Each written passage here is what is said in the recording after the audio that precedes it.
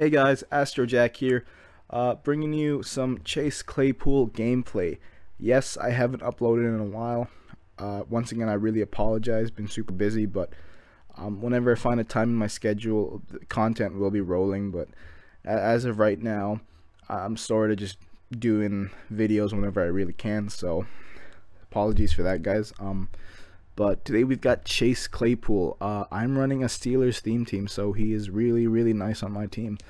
Um, I got him up to 99 speed, 99 jump, 99 catch, 98 catch in traffic, 98 spec, 99 short, 97 medium, and 96 deep. Of course, if you're running go deep, he'd have 99 deep right now. Um, overall, it's a really solid card. The only thing that's that probably um, uh, could could have been better is his agility. I mean, 86 agility, eh, kind of sucks. Change the direction, 82. But then again, Chase Claypool wasn't.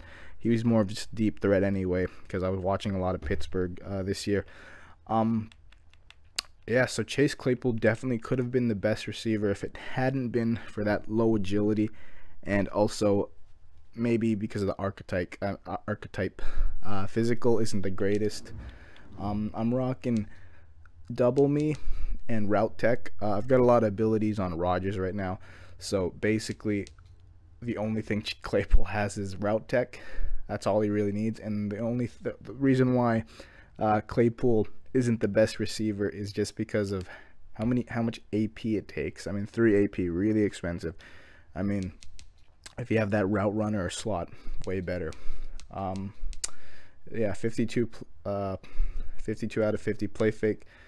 Got them all chemmed up. Yeah, uh, so hope you guys enjoy this uh, Chase Clay- Claypool gameplay.